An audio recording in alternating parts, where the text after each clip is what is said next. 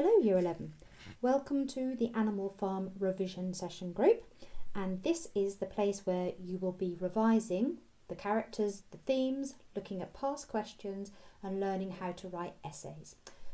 What we're going to be needing first of all is a pen and paper. If you choose not to do that, can you just open yourself a Google Doc please and that's where you'll be writing all your notes from this session. Right, let's get started then. As it's been such a long time since we read this book, we're going to return right back to basics, so please don't feel concerned if you can't remember the names of characters and the order of events. We'll be covering that this week and next. So, this week we're going to be looking at the context of the top of the book and we're going to be looking at the plot. You'll be asked to do lots of core knowledge quizzes. You'll be rereading the book and then you'll be plotting the key events of the book as you listen to it. You have one week to complete the quizzes and you have two weeks to complete the reading. The reading should take you three hours. But what I've organised, if you have a look on Google Classroom, is for you to listen to the book as you're doing your notes. So I think that probably will help you. Now context is one of the areas in which you will be assessed when you do your piece of writing on this AO3, assessment objective number three, asks you to comment on the thoughts and feelings that people had at the time that the book was written and the book was set. the book was written in 1944, just before the end of World War II, and the book is set somewhere between the period of 1917 to 1945 and covers the period of the Russian Revolution, although a specific date is not actually given in the novel. Now if we look at the thoughts and feelings people had at the time, cast your eyes to the right hand side of the screen, you'll see in bold that people had these general feelings. The first is a fear of totalitarianism. If you are a totalitarian leader, it means you rule alone and you have total power. Can you see the word total is in the word? This person had the right to make decisions about every small detail of ordinary everyday people's lives, how much they ate, where they lived, the food that they produced, the work that they did. There was anger at the time as well at the forgotten working man. This leader was ruling for their own greed and their own sense of power, but didn't cater for the needs of the working man, therefore, starvation was quite common in this period of 1945. The world was weary at this stage because they'd just had six years of war and they just couldn't see the end of it. One minute the British and the Allies were winning World War II, another minute it was the Germans, so it was a long power struggle, and people were just tired of it and longed for peace. And finally, they were proud of their country, and you'll see lots of poems written, particularly in the first half of World War II and World War One, where people were in praise of their country. They loved England and England's green lands. So you'll see a lot of those feelings come through the book of Animal Farm too.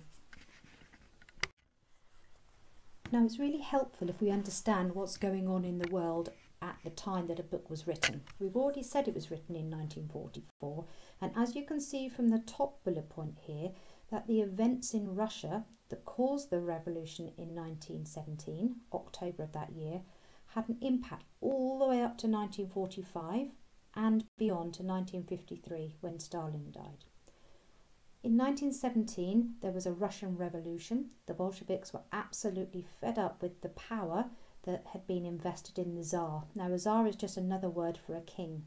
And the Tsar and the Tsarina lived a protective life where they were rolling in wealth, yet all the people around them were seriously struggling with everyday things such as finding enough food to eat, having shelter, and keeping warm from the cold Russian winters. As a result of that, Lenin and several of his friends, Trotsky being one of them, came together to rise up. They overthrew the Tsar. In fact, they assassinated the whole royal family and they took over power, being one of equals. So the idea was that everybody ran in a community, in a communal way, and therefore communism means that everybody was equal, all working together. Everybody was paid the same and everybody was treated the same. Now this worked incredibly well until Stalin came around and we can see that Stalin was a leader who came in the 1930s and he became a dictator, a totalitarian dictator. And you will read from your history books and from your class notes how he was in complete control and everybody who lived and worked under him in Russia was struggling and they suffered. It was this that really made George Orwell angry and worried because he wanted to set a moral tale to explain to everybody the dangers of people who begin to rule as if they're equal to everybody else, but then become so obsessed and controlled by power that they end up becoming corrupted by power. And that is what totalitarian leaders are. Okay? So we've explained that by the time all of this had happened in the 1917 all the way up to the 1930s, towards the end of World War II, which took place between 1939 and 1945, people were genuinely afraid that totalitarianism would come to this country. And so, for that reason, George Orwell decided that he was going to write this book of Animal Farm. He wrote it as a fairy tale so that it could be accessible to lots of different people, and he wrote it on a farm in England so that his audience could understand that actually totalitarianism isn't just something that happens in Nazi Germany or Mussolini's Italy or Stalinist Russia it can also happen in this country. And there was a big fascist movement that was veering towards communism. There was a fear at that time. The other thing that affected George Orwell and had a strong influence over his writing was the Spanish Civil War. And he went over to Spain to fight in that civil war. And while he was there, between 1936 and 1939, he got to know the ordinary everyday man, the working man, and he gained a lot of sympathy for the needs of that particular group of people. He realised that they were rejected and ignored by these totalitarian leaders who only seemed to want to own power for their own wealth and for their own um, strength. And as a result of that, he became absolutely furious, incensed even, that these ordinary, everyday people were simply being ignored and for that reason he decided he was going to write a book about the plight of the working man, and you can see this through the character of Boxer, where he shares the most sympathy. In addition to that, as a young boy, Orwell was walking along the street in England one day by a farm, and he saw a stable lad repeatedly hitting a horse, and he saw the horse neighing and whinnying in distress, but it couldn't answer back and it couldn't fight back, and it became defenceless. And for our writer, George Orwell, he saw that symbol as a metaphor for the working man who was constantly beaten, who was forced into starvation, who was forced to work and never gain anything for himself. So he actually saw a strong link between the abuse that people show horses and the abuse that people show other people, treating them as if they were animals. And that really is what solidified his decision to make a book about the Russian Revolution and the fear of communism turning into totalitarianism into a modern fable, a fairy tale about a farm in England that looks at the plight of the working man through animals. Right then, you've heard my information burst on context. Every time you see this Pac-Man symbol, it means that you are going to be tested or quizzed on the information that you've just learned. Okay, so what you're going to do at this stage is to pause this video. You'll go onto Google Classroom and you're going to complete the first of your quizzes. This one is called Context of Animal Farm. Feel free, of course, to pause or rewind or listen to this video as you're completing it. The aim is for you to get 10 out of 10 to show a clear understanding. Once you've submitted your quiz, you'll then be able to move on to the next slide. Okay, Year 11, we've completed stage one of the revision by looking at the context in which the novel is set. Our next step now is to look at the story. So can you write down the subheading of plot, please? And the first thing we're going to look at is the structure of the story. George Orwell is the author. He was a British writer and he was a democratic socialist. And democratic socialists believe that we should have a socially owned economy. So that means the state owns all the businesses that work within a country but where he wanted this to be different from the totalitarian system he saw emerging in Europe, he found that it would be much better to have an emphasis on democracy in the workplace. So, in essence, what that meant was that everybody who works in a factory or an organisation should have a right on the way that it is run, and they should also have a share in the value and the profits that are generated from that business. The narrator of the story has been deliberately chosen to be the third person omniscient. Now, you may not have heard of that word omniscient before, it means all knowing. And if you look at those last few letters of the word omniscient, S C I E N, it should actually remind you of one of the subjects that you complete. And science means knowledge, and you know that because you have lots of core knowledge tests in that subject. So when we look at a narrator who is the third person, we know that he or she uses words like he, she, they, it, and names of characters. Omni means all, so we know that this person can see all. And scient, we now know means knowledge, it means they know everything as well.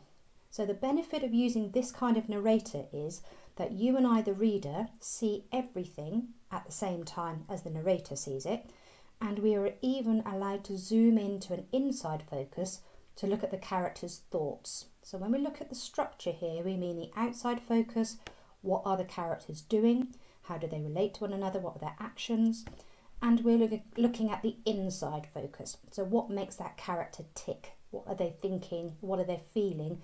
What are their reactions to the events that take place? Okay, remember that because there's going to be a quiz on that a little bit later. Now we've already talked about George Orwell writing this book as a fable, but to be very clear on what a fable is, it's a fairy tale. And so it's accessible to everybody, but it has a moral at the ending. So when we look at the beginning and the endings and we compare those two things, I'd like to think more closely about that. What are we as a reader actually learning at the end of this novel? This story is also an allegory. What an allegory is, is a story on the surface level, but when you look deeper, this story is actually representing a real life story beneath it. I'll give you an example. When you're in year seven, you looked at the book The Lion, the Witch, and the Wardrobe from the Narnia series. Well, that story was also an allegory, and this allegory told the story of Jesus Christ coming to the world and saving people. And that was represented through the character of Aslan, who came to the world and as a sacrifice allowed other people to live and be free. So you've come across these allegories before.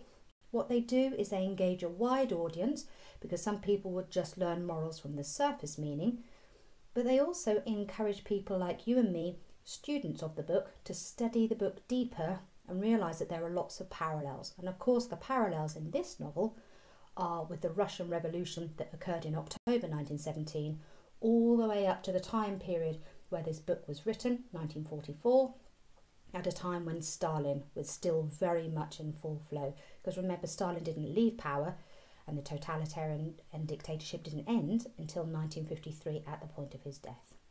The last thing we need to be thinking about here is the cyclical structure. And if you look at that word cyclical, again, it looks like a cycle, doesn't it? And when you have a cycle, things go round and round. What goes comes around, it returns.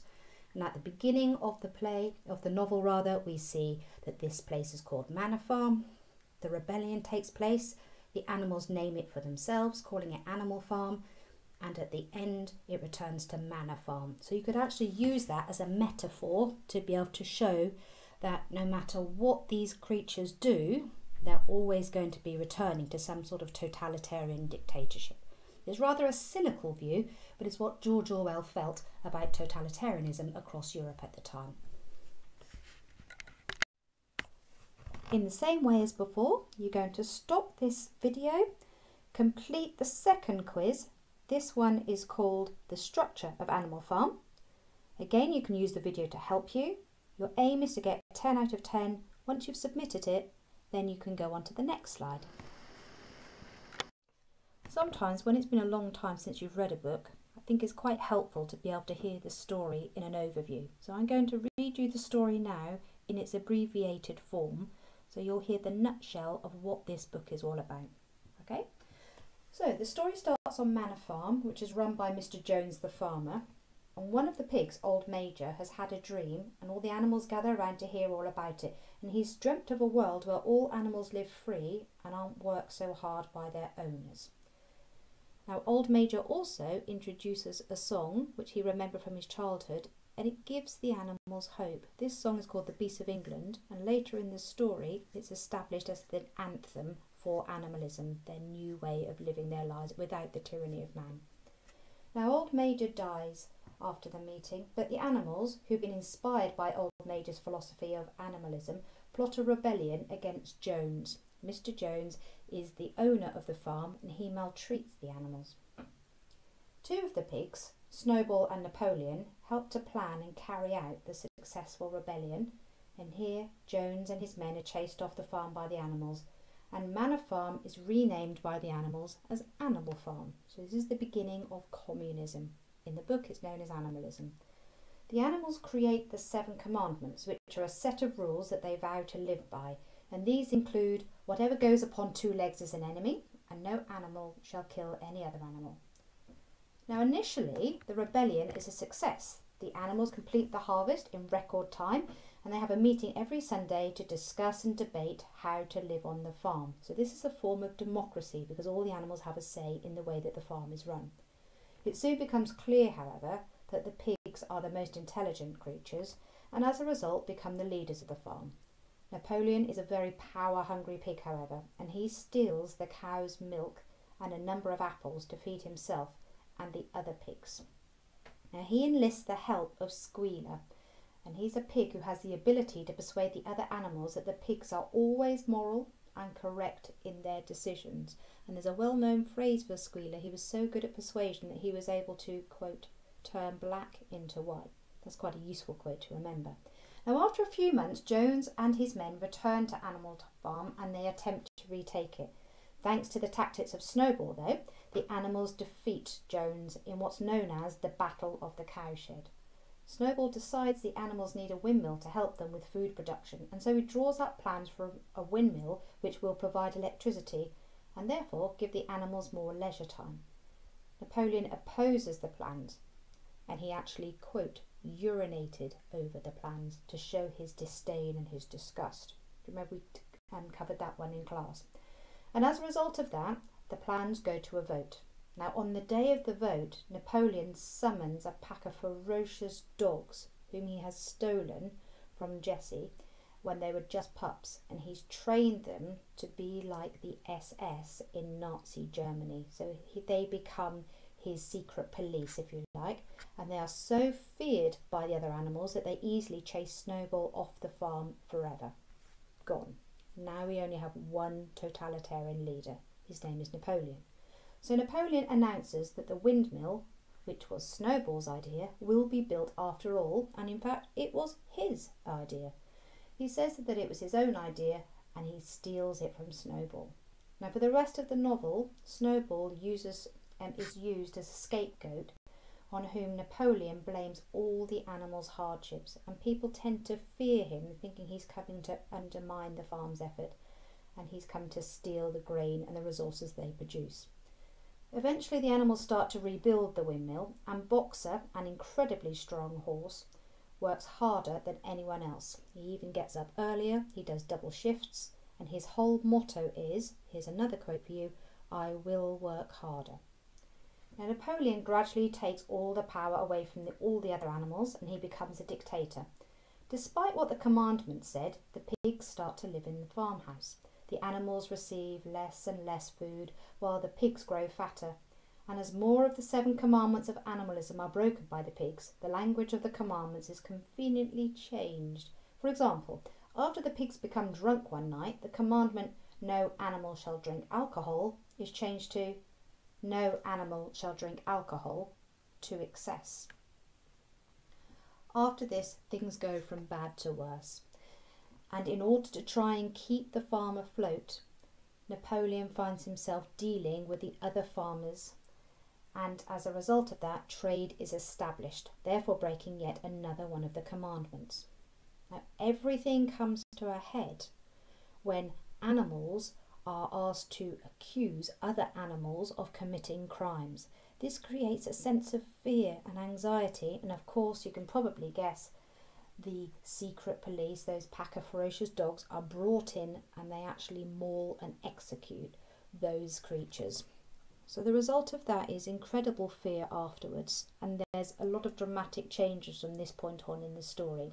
Beast of England is abandoned, the Seven Commandments are changed beyond recognition. A new character is introduced, Minimus, who declares absolute devotion and loyalty so that Napoleon is always right, which is a nod back to the times of Stalin being always right, and Stalin is Russia. The windmill is built eventually, but it's more or less built on the bones of poor old Boxer. The farmers in the area are determined that they're going to take over the farm, and so by sly underhand means, one evening they come into the farm, they use explosives, and they blow up the windmill.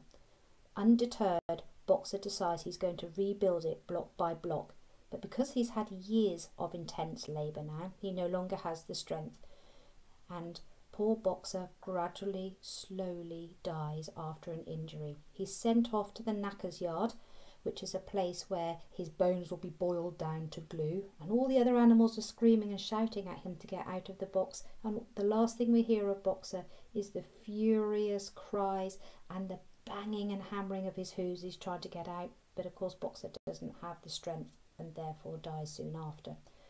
Now, the manipulation continues when the ever powerful squealer announces to everybody that Boxer hasn't gone to the knacker's yard, instead, he's just gone to a place of retirement. But by this stage, very few people believe the pigs. The ultimate conclusion comes when the pigs meet up with the farmers. They're drinking alcohol in the house, playing cards. And Napoleon and Frederick are cheating one another and they sound alike, they look alike, and all the other animals are seen from the outside perspective just looking in. And the shock comes when, rather strangely and in a wobbly way, we can see Squealer walking on his hind legs. Is at that point that the animals look from man to beast to beast to man and they realise that they are in fact indistinguishable. The final declaration, as Napoleon stands in one of his rare speeches, he declares that Animal Farm shall be restored to its original name of Manor Farm. And actually, the ending is meant to suggest that even though these animals have had a great experimentation, ultimately, if you have a group of people in the name of equality who come to power, power controls them and they become a dictator in the same way as a person they were trying to remove. If we look at the allegorical meaning of this, Stalin acts just as much as a controller as the Tsar Nicholas II did in 1917. So, after all those years, 1917 to about 1944, 1945, when the novel is set, everybody returns back to type. So, it goes back to the normal position they're in at the beginning of the novel.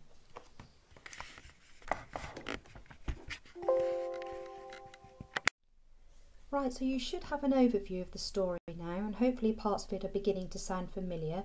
To fill yourself in even further, of course, you have the homework to listen to the story again and fill in the plot tracker. Go to Google Classroom, all the information is there. And also, you made lots of notes in your exercise book from last year, so if you dig that out, you'll be able to read up in more detail. So you're about to pause this video and complete the third task on Google Classroom now. It's called Know the Order of Events and you see the sheet you have in front of you here, there'll be a duplicate waiting for you there and all you need to do is to put all of these events into the correct order from your understanding of what you have just heard. When you've done that, you're going to upload it and then when you've done that, you're going to take each one of these and you're going to put them on a post-it and put them as if they're in a timeline by your bedroom wall. And the aim is for you to revise them, learn them off by heart, and see how many you can get in the right order night after night. And that will help you to have a clear understanding of where the story is going. Take a photo of it when it's done. You can also upload that onto Google Classroom. Right, so now that we've looked at the events, we know what's happening in the story and the order in which they happen. We're going to look a bit closer now so what I'd like you to do is to look at the 10 you've written down, double check they are right please with the answers that have been sent to you. And then I'd like you to rank the events, not in the order in which they occur, so not chronologically, this time in the order of importance. Which event would you put at the top as having the most impact and makes the animals change their thinking or perhaps their actions which perhaps causes a chain of events and leads to another event, which one would you place at the top? And which event would you say was the least important? And which one would you put slap bang in the middle? Once you've got your beginning, middle and end structure, you'll then be able to filter all the other events in at places you think are most appropriate. Okay, so let's just have a little practice of that. If we looked at um, Old Major's speech, for example, it happens right at the beginning of the story. It happens just before the animals are maltreated yet again, and Jones comes out with his gun. Why is that really significant? Would that really be the first thing that you put at the top? Well, on the one hand, yes, it's very significant because Old Major provides hope for the animals and it encourages them to think about life in a different way to the one they've been enduring. They realise they don't have to accept the maltreatment and they themselves are the agency of change. They have the power to make things different. So that's quite a significant moment. As a result of that, the animals get to hear Beast of England for the first time, and as a result of that, it gives them hope, it makes them think about a shared identity. That then ena- enables them to think about animalism, which promotes them to then rebel against the humans, which then makes them realize that they can do things for themselves. Can you see that is quite a significant event, isn't it?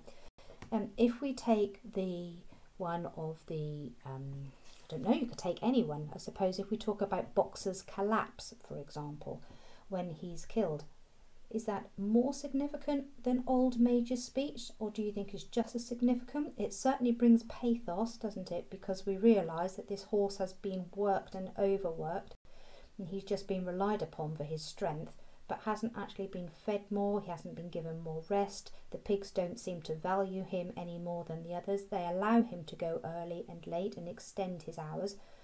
And as a result of that, Boxer realises that he just can't do it on his own his weakness occurs in his joints, he has the injury, and then he's sent away to the knacker's yard. So that could be quite a powerful symbol of the corruption and the lack of care that leaders have for their workers, which of course George Orwell felt incredibly strongly about as a social democrat.